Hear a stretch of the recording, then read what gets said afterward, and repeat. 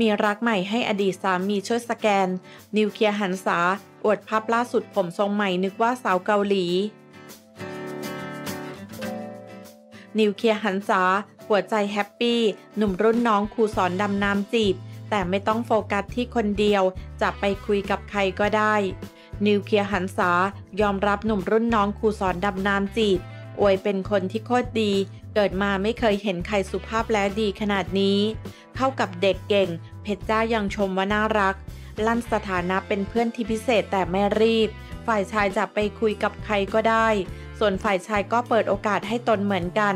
ลั่นห้ามพาดหัวเปิดตัวแฟน พอยังไม่ใช่แฟน หัวใจกลับมากระชุ่มกระชวยอีกครั้ง สำหรับนิวเคลียร์หันษาจึงวิวัฒนาวงศ์แจ้งว่าหนุ่มรุ่นน้องชื่อว่าตัวเป็นครูสอนดำน้ำเข้ามาจีบจริง แต่ยังไม่รีบเพราะเพิ่งหย่าและโสดได้ 2 ปี ที่ผ่านมาไม่เคยปิดใจ คือเราก็ไม่ได้ปิด ใครเข้ามาก็ไม่ได้ปิดจริง ๆ เหมือนเรายังห่วงพื้นที่ข้างๆเราอยู่ เราเพิ่งจะหย่าเพิ่งจะโสดได้ 2 ปี เพราะฉะนั้นใครที่เข้ามาเราก็ไม่อยากรีบทั้งนั้น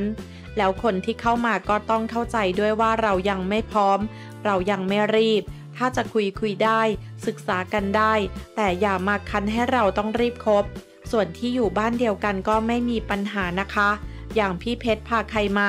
นิวก็ไม่เคยที่จะห้ามพาเข้ามานะ ไปหึงไม่ได้ มันเป็นสิทธิ์ของเขา แล้วเราก็มีขอบเขตด้วยไม่ใช่คนนั้นเราคุยพามาบ้านเลย ไม่ใช่ ไม่ได้เป็นแบบนั้น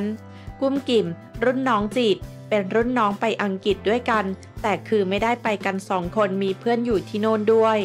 ก็ไปจอยกันไปเจอกัน ที่คนจับผิดว่าคนนี้น่าสงสัย แต่ไม่ใช่แต่ไม่ใช่ น้องน่ารัก ก็เป็นกลุ่มแก๊งเพื่อนที่ไปดำน้ำด้วยกัน แต่ถามว่าเขาจีบเราไหม เขาก็จีบค่ะ เราก็พูดตรงๆ เราก็บอกไปแล้วว่าใครเข้ามาเราก็คุย เปิดใจ แต่มันยังไม่ใช่ เราก็ยังไม่บอกว่าคบเป็นแฟน วันหนึ่งถ้าเราพร้อมแล้ว เราอยากคบกับคนนี้เราอยากไปยาวๆกับเขา เราก็จะบอกใช่ เจอกันพอไปดำน้ำด้วยกันนี่แหละค่ะ